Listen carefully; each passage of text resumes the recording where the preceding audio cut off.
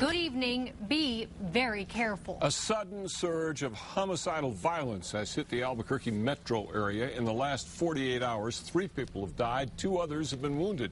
In one of the cases, gunfire killed a man and injured a nine-year-old girl. Alex Tomlin begins our coverage with new developments in that case. Alex? Dick Albuquerque police have identified the man as 30-year-old Kevin Frazier. They say accusations Frazier was sexually assaulting the nine-year-old led to the shooting here in the 7700 block of Crepe Myrtle.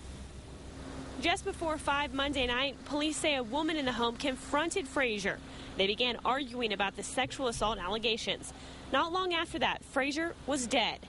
Police aren't saying who fired the shots. Still pretty early in the investigation, believe it or not. So they're still combing through a lot of uh, stories and, and talking to witnesses and talking to people that were in the home and trying to find out exactly what happened. The nine year old was also shot.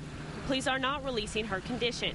They say the child and Frazier are related. I won't disclose the relationship between all of them, but there was a relationship between uh, the male individual that's deceased and then the child that uh, was injured. Hamby says several people were in the home at the time of the shooting, including two other children and an infant. They weren't hurt. Police say Frazier has no prior criminal record. Back to you. Right, Alex, the nine-year-old girl who was shot is recovering at UNM Hospital.